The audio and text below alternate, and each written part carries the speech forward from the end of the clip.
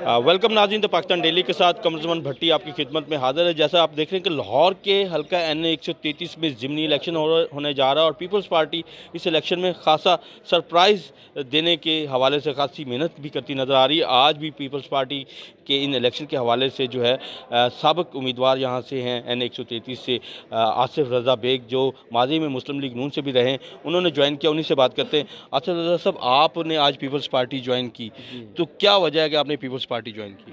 बिसमीम सबसे बड़ी वजह जो है, वो ये है कि पाकिस्तान पीपल्स पार्टी में जो वर्कर है ना, जो जियाला है, जो ग्रास रूट का वर्कर है, उसकी इज़्ज़त है। और बाकी पार्टीज़ में ये नहीं है। अब देखिए, लीडरशिप के साथ डायरेक्ट रबता है, वो आप कैसे बच्चों की तरह लेके चलते हैं। लेकिन मैं पाकिस्तान मुस्लिम लीग नून में रहा हूँ, आप भी माशाल्लाह मीडिया से ताल्लुक़ रखते हैं। तो आप बता सकते हैं कि हमजा तक कौन जा सकता है? आप बता सकते हैं शबाज शरीफ को कौन मिल सकता है? M P M N A जो है, वो लाइन में लग के खड़े होते हैं, हमारी बारी आएगी कि नहीं आएगी। तो जो यहाँ पे इज़्ज़त मिलती है वर्कर को, वो वहीं जाता है। और मेरे ज़मीर ने ये समझा है कि पाकिस्तान पीपल्स पार्टी जो है, वो कारकुन की वर्कर की और वोटर की इज़्ज़त करती है। अच्छा 2018 में आपने आज़ाद इलेक्शन लड़ा। आप उससे पहले नून लीग में थे। तो आपको नून लीग ने टिकट नहीं दिया। क्या वजह हुई आपको आज़ाद लड़ा और आपने आप अब आप क्यों क्योंकि कह रहे हैं नून लीग वाले कह रहे हैं कि आप तो नून लीग छोड़ चुके हैं। हाँ सही बात है। वो जो जो जाता है वो नून लीग छोड़ देता बात यह है सर कि मैंने दो हज़ार तेरह में पाकिस्तान तहरीक इंसाफ का टिकट इसलिए छोड़ दिया कि उन्होंने पैसों की डिमांड यूथ से करनी शुरू कर दी। मैं एक नज़रियाती वर्कर हूँ नज़रियाती कारकुन हूँ। मैंने अपने उन दोस्तों की खातिर स्टेप लिया वरना मैं 2013 में पीटीआई का एमपीए था मैंने वो टिकट रिजेक्ट कर दिया कि आप लोग करप्शन ख़त्म करने के लिए आए हैं आप लोग तब्दीली लेके आने के लिए आए हैं लेकिन आपने तो आज से ही करप्शन शुरू कर दी है। आप अगर आज पैसे लेके टिकटें देंगे तो कल को करप्शन डेफिनेट होगी। तो मैं एक नज़रियाती वर्कर हूँ जहाँ पर मुझे लगेगा ना कि चीज़ें जो नज़रियात से हट रही हैं मैं वहाँ पर नहीं रहूँगा क्योंकि मुझे कोई लालच नहीं है। पिछले इलेक्शन में कोई आपने कोई परफॉर्मेंस भी दी अठारह में आपको क्या वोट मिला? मैंने परफॉर्मेंस दी है तो नून लीग हारी है। मेरी परफॉर्मेंस थी तो नून लीग हारी है ना। आप ज़रा हल्के की आवाम से पूछे जाके हल्के की आवाम आसिफ रजा वहाँ से पिछला इलेक्शन तो नून लीग जीती थी। हारी है। आप देखें मेरे मेरा मैं वन वन सिक्स सेवन से एमपीए का इलेक्शन लड़ा है। आप ज़रा चेक करें कि वहाँ से नून लीग हारी है और बड़े बुरे तरीके से हारी है। ठीक है ये ये होता है कारकुन वर्कर का काम।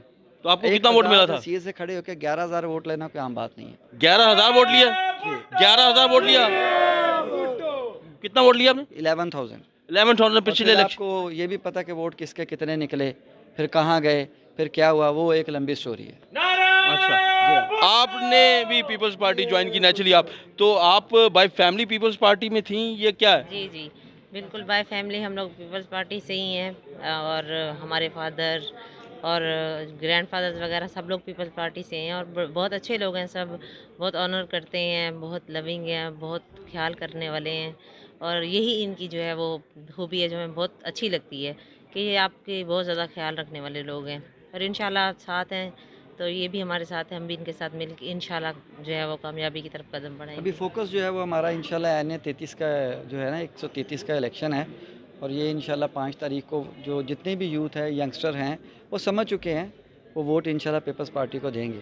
हाँ जी, बहुत शुक्रिया आपके सामने। सूरत हाल है कि एन एक सौ तैंतीस का इलेक्शन जो है, इसमें पीपल्स पार्टी को नो डाउट एक ऐसा यंगस्टर सपोर्टर मिला है जो उनके हक में सपोर्ट कर रहा है। पिछले इलेक्शन में उन्होंने ग्यारह हज़ार वोट लिया था। तो ये एक बहुत बड़ी सपोर्ट करा दी जा सकती है कि जहाँ पे पीपल्स पार्टी का वोट बैंक बिल्कुल ना होने के बराबर था, वहाँ अब ऐसी लीडरशिप भी आ रही है जो माजी में पीपल्स पार्टी के मुकाबले में नून लीग या पीटीआई के साथ रही, लेकिन इस वक्त पीपल्स पार्टी के साथ खड़ी है। और इतना बड़ा वोट बैंक के साथ अगर एक नौजवान आएगा तो कुछ भी हो सकता है इलेक्शन के नतज।